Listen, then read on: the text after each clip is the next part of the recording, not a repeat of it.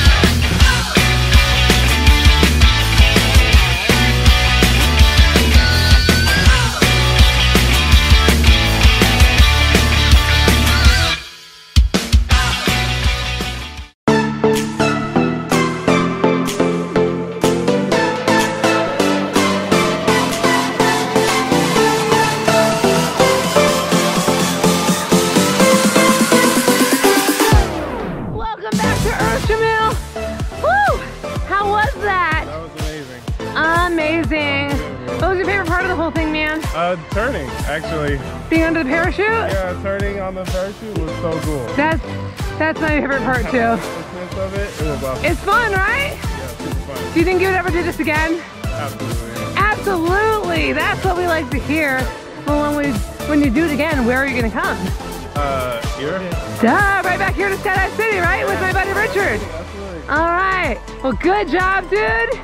Welcome to the sky. We'll Thank see you, you next time, buddy. Sure.